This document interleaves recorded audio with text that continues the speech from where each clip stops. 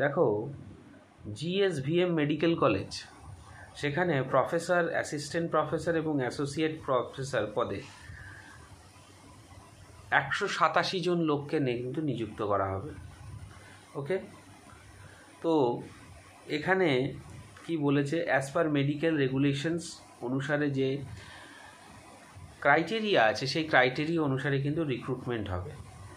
এবং এর অ্যাপ্লিকেশনের শেষ তারিখ অর্থাৎ যে তারিখে তোমরা আবেদন করতে পারবে যেটা শেষ তারিখ, সেটা হচ্ছে একুশ, একত্রিশ সাত দু হাজার তেইশ, অর্থাৎ একত্রিশে জুলাই দু হাজার তেইশে কিন্তু আবেদন করার শেষ তারিখ।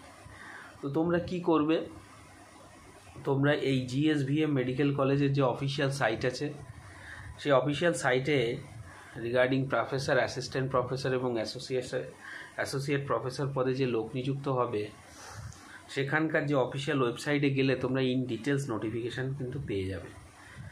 ওকে এবং যে মেডিকেল ইনস্টিটিউশন রেগুলেশন আছে, সেই অনুসারেই কিন্তু সমস্ত কিছু ফলো আপ হবে। ওকে এবং লাস্ট ডেট আমি আবারও বলে দিচ্ছি, একত্রিশে জুলাই। একত্রিশে জুলাইয়ের পর কিন্তু তোমরা আর অ্যাপ্লাই করতে পারবে না। তো যারা যারা অ্যাপ্লাই করতে ইচ্ছুক বা করতে চাও, তারা কিন্তু একত্রিশে জুলাইয়ের আগে কিন্তু অ্যাপ্লাই করে দিও।